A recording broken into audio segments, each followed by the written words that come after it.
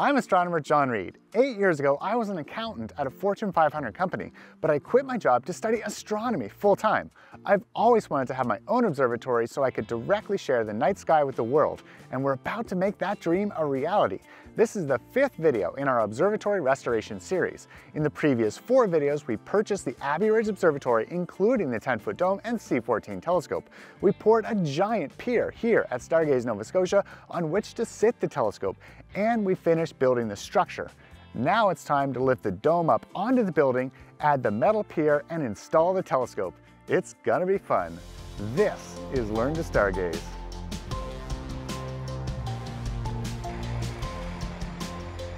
All right, it is time to move the dome. We've got Dave Cahill here, CEO of Wild Stays. Dave is right across the street with his pretty epic glamp ground. Anyway, what we're doing right now, Dave's got all these cables. We're gonna create a net for the observatory. We've got the excavator right here, ready to lift it up all the way to the top of the hill. Let's get started.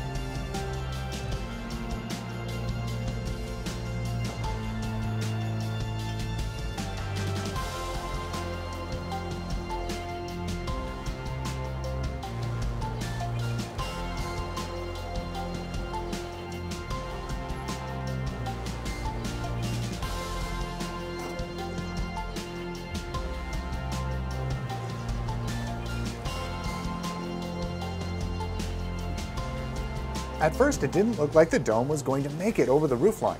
The excavator operator was going to turn around and set the dome back on the driveway.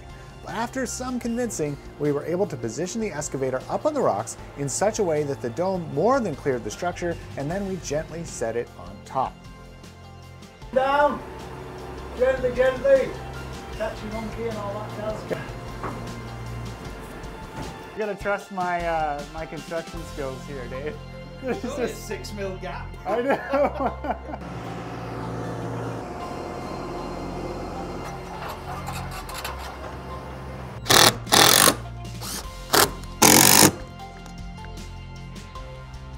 All right, so it's the morning of August 30th, 2024. We've just got the dome on last night, but it's not connected. So one of the things we need to do is make sure it's perfectly circular so that the dome will rotate before we do the final bolts to lock it into place. Before we do that, we're gonna actually have to run the wiring, the cabling here. So we have all the cabling and we didn't really disconnect anything except at the key points, like at the motors. So what we're gonna try to do is run all these wires. We're gonna connect the dome controller and the power supply to the wall. We're gonna plug all of these into the Apertura power supply and see if we can get this thing to move. But first, we need to actually connect the motor, So let's do that now.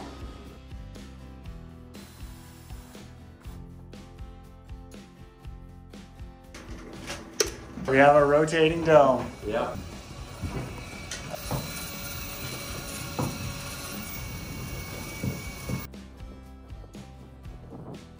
What an insane day. I can't believe we actually got the dome to rotate and function. We got all of this figured out. And a lot of that was thanks to this Apertura power supply, which powered everything and still, after a day of testing, has 99% battery life. That's pretty cool. Okay, I'm just gonna go up here. We've got a closed dome. We've actually been able to rotate the dome so that the solar panel is facing the sun. So this should be all charged up and good to go for future use. We also did all the caulking all the way around the structure. We had to fill extra holes in each corner and on the sides, and that was because our structure actually got just a tiny bit longer because of the kind of trim we chose.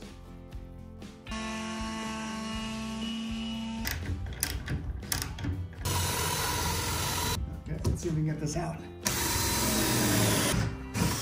Oh, we're through. So one of my least favorite things to do in the whole world is chiseling out doorknobs. Leave a comment to tell me how badly I'm doing this.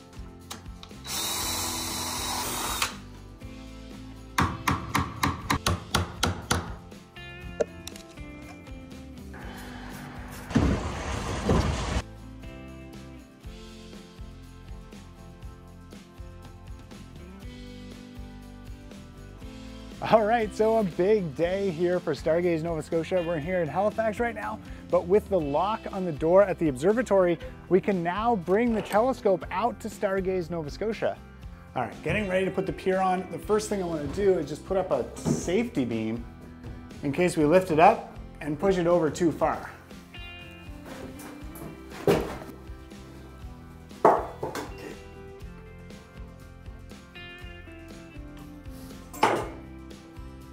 All right, so this looks level. So basically it looks like we can just put these nuts and bolts on and tighten them right in for now.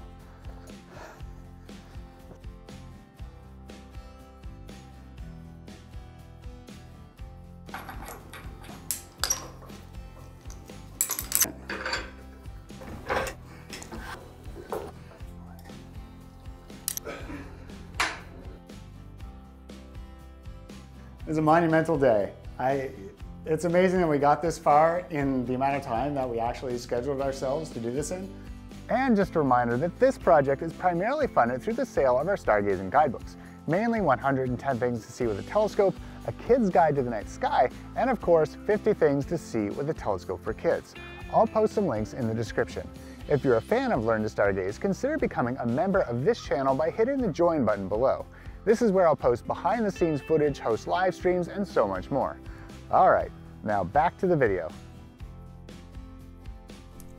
We realized after we put the telescope on that we should have done a better rough polar alignment on the mount. But instead of removing the telescope again, we decided to simply hang a safety line from the roof of the observatory. So it seems like this needs to be rotated almost exactly 10 degrees counterclockwise. Oh, it's spinning, it's moving. So what I'm thinking, we should have enough range of motion with our azimuth axis here to point them out at the spot that it's supposed to be pointed at. That should get us close enough for polar alignment at night. It's alive!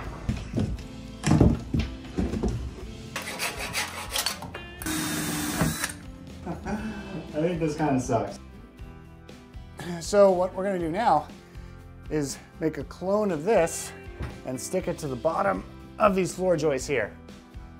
So the idea is we'll put the electronics in these boxes, that'll keep them weatherproof, and then we'll just run the wires into them from over top in a little hole or something. All right, it looks like the water came from somewhere up there. Interestingly, the telescope is completely dry, and in here it's wet.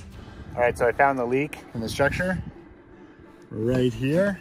So what we're gonna do, uh, I've got some caulking, we're gonna fill that in, and then I've actually got some RV tape, and so we're gonna tape that up as well. Hopefully it doesn't leak again. Right, here's our patch. Hopefully that should hold. Got this crack here. All right, that should hold for now. And basically here we can see the status of every instrument. So we've got the telescope, the dome, the cameras, the focusers, the cloud sensors, uh, and everything we need to get this observatory running. So what we need to do now is start plugging things in. And as we plug them in, we'll make sure that they register. Hey everyone, thanks for being a member of the End of the Video Club. As you may know, watching to the end of a video really helps us out as creators, allowing this video to be shown to more people. If you'd like to get advance notice of live streams and upcoming releases of our stargazing guidebooks, be sure to sign up for our mailing list at learntostargaze.com. Once you sign up, you'll get a note from me and a free stargazing logbook to track your progress. And as I said in the last video, I'm still new to this mailing list thing, so I'll be personally sending out the PDF logbooks, at least for the next little while. Be sure to subscribe to take your stargazing to the next level, and if you're a regular viewer, consider joining as a member. And remember, the future is looking up.